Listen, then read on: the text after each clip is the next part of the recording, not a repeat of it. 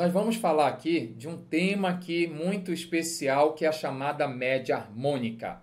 O que é a média harmônica? A média harmônica ela é o inverso da média aritmética dos inversos dos números. É, parece estranho, né? Vamos ver um exemplo numérico, primeiramente?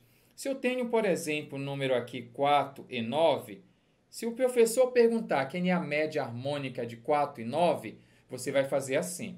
Anote aí, média harmônica será. Aí você coloca o inverso, pegue lá, ó, o inverso, e tem um aqui em cima, o inverso de quem?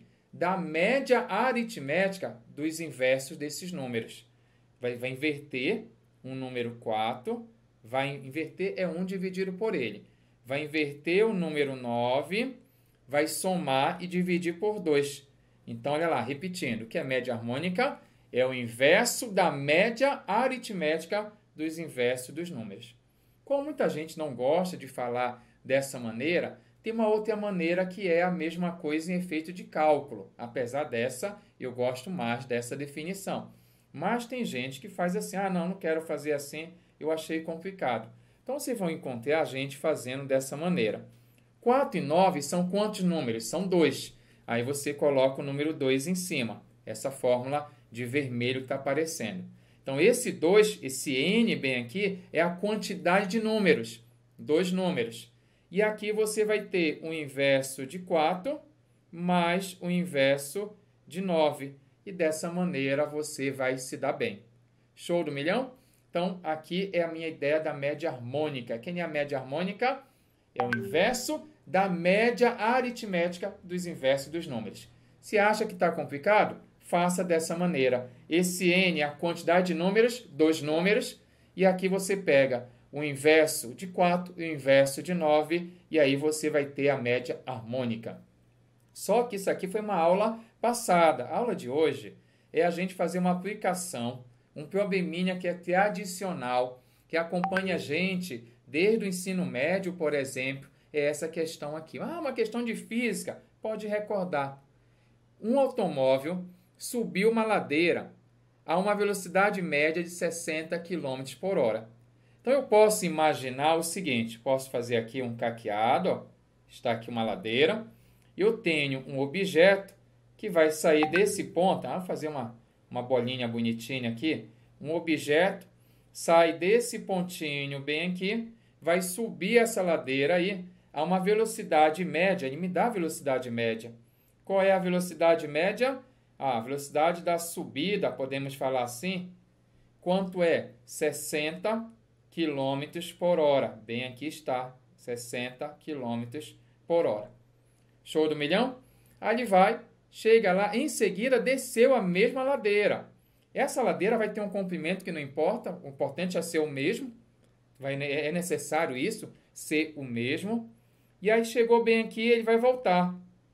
Né? Mudou até de cor ali, deixa assim mesmo. Vai voltar. Só que agora a sua velocidade da descida ajuda né, a descer, vem, vem mais rápido bem aqui. Então a sua velocidade da descida vale quanto? 100 km por hora. E ele pergunta na questão a velocidade média desse veículo no percurso inteiro. Normalmente, se não tivesse essa dica aqui do lado, média harmônica, muita gente ia parar e ia fazer o quê? Ah, já sei. A minha média eu vou somar e vou dividir por 2. Eu vou fazer a média aritmética simples. Pode fazer. Tem uma letra te esperando. Vem, vem errar. É o 80.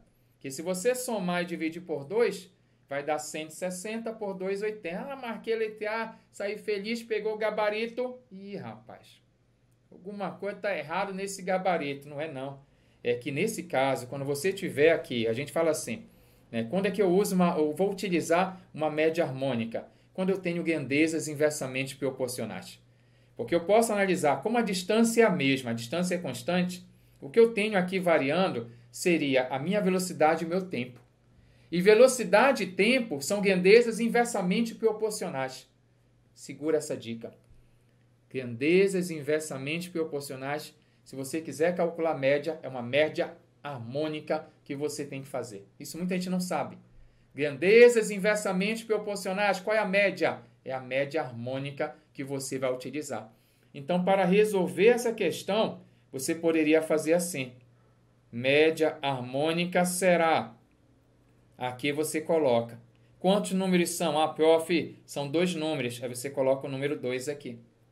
Embaixo você coloca 1 dividido pela primeira velocidade, 60, mais 1 dividido pela segunda velocidade, que é 100. Ah, professor, essa conta vai dar muito trabalho bem aqui. Eu tenho uma dica para facilitar a nossa vida. Quem é o MMC entre 100 e 60? Ah, e um detalhe. De repente você está com preguiça de calcular o MMC e socorre. Ah, não estou afim de calcular o MMC. Ah, então, se você não está afim muito de calcular o MMC, quanto é que dá? 60 bem aqui, ó, 60 vezes 100. Tu pode multiplicar. Tá? Se você usar 6 mil aqui na jogada, vai dar certo. Mas o MMC aqui de 60 e 100, eu posso colocar 300, por exemplo. Então, 300. Olha a jogada que eu vou fazer. O meu MMC tá? é 300. Eu vou multiplicar em cima e embaixo por 300 pelo cara que é o meu MMC aqui. Mas fica a dica. Ah, não estou muito afim de pensar. Você pode usar 600, multiplicar por 600. O importante é multiplicar por alguém que dê para dividir. Essa é a dica. Eu coloquei o 300 aqui, fica legal. Olha só, minha média harmônica será, que é a minha velocidade média.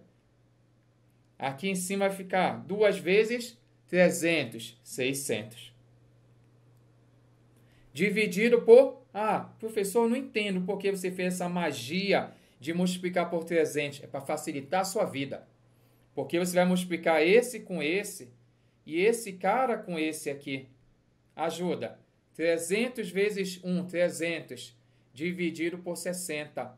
Então, aqui você vai ter 300 dividido por 60, vai dar 5. Mais 300 vezes 1 dá 300, dividido por 100, vai dar 3. E aí eu tenho aqui a minha média sendo 600 dividido por 8. Olha, ficou bem fácil a conta, gente. E a minha média harmônica, que seria a minha velocidade média, vai ficar 600 dividido por 8, que é a metade, né? Vai dar 300, a metade da metade, porque eu dividi, ó, dividir por 8, você pega a metade, a metade, a metade.